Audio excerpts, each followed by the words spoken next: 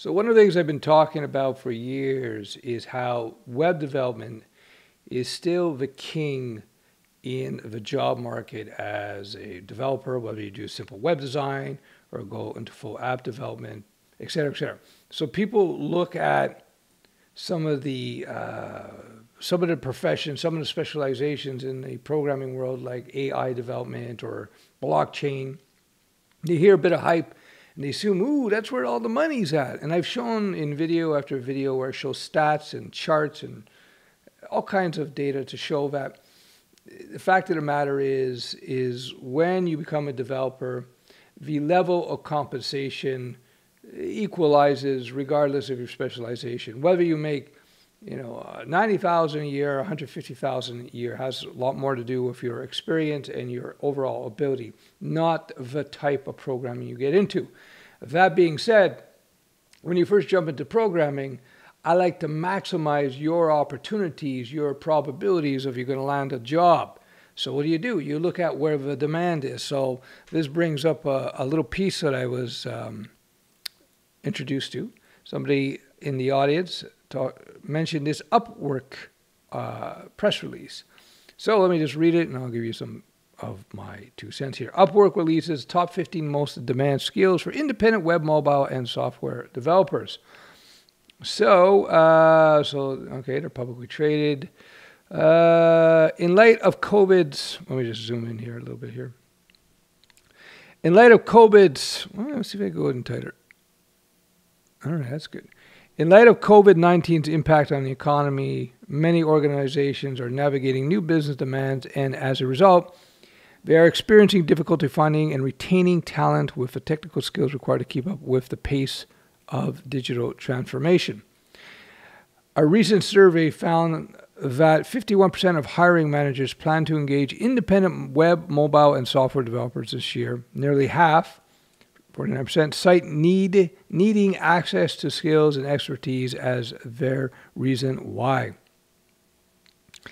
Upwork's top 15 most in demand skills reveal the essential role skilled professionals are playing in filling tech gaps and solving businesses' most pressing needs. Technology is evolving rapidly and companies must adapt and stay ahead, said Mike Paylor of Upwork's VP, Upwork's VP of Engineering and Product. This means building a virtual talent bench that can contribute diverse skills and deep knowledge to solving highly technical problems. In over in order to overcome talent scarcity issues, hiring managers are rethinking how they resource talent and this data indicates more leaders are turning to Upwork. Well, of course, you know this is a press release that uh, you know favors them. But anyway, from JavaScript to Python to HTML, these highly sought after skills are also there. Uh, just, let me start try that reading that again. From JavaScript to Python and HTML, these highly sought after skills also show there is opportunity for independent talent to grow their businesses and build valuable relationship, relationships with high quality clients from around the world. So I mentioned this article not to say, oh, go work for Upwork. No, I'm mentioning this to say this is a big data set here and uh, it will give you an idea of what the market is like in terms of uh, the demand. Again, this is just reiterating. Uh, this is another data point, as far as I'm concerned, for me, from my point of view, with regards to what I've been telling people for years. The web is king, not AI, not blockchain development, uh, not server, not uh, I don't know, server security. Those are all great, but there are many, many, many more jobs in this field in the web area, meaning a lot easier to get a job, right? So let's look at the top 15. So you got JavaScript CSS, HTML. It's the web stack. Website development, general, I guess this is based on a survey. PHP. There we go. PHP again. Oh man, dirty old PHP. API development, WordPress, HTML5. Well, I guess the HTML, HTML5, same thing. Web design, Python, web application, API integration, jQuery, MySQL, and React. No Ruby. All right, so let's go. The data was sourced from Upwork's database and is based on gross service volume from April 1st, 2020 to September 30th, 2020. Each skill had a minimum of 500 projects projects during the period. Uh, all right, so he says we serve every everyone from one person startups to 30% of the Fortune 100 with powerful trust-driven platform enables companies to, and freelancers to work together in new ways. All right, so this is not uh, an Upwork paid promotion.